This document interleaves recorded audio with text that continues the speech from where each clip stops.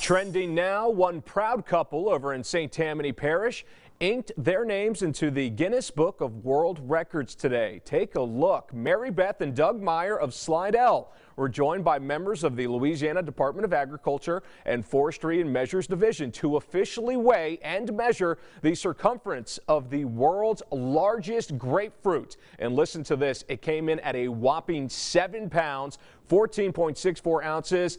28.75 inches. My goodness, that shattered the old record of 7 pounds 1 ounce which also measured 27 and a half inches. That was a grapefruit grown in Brazil, but this one is Louisiana born and bred.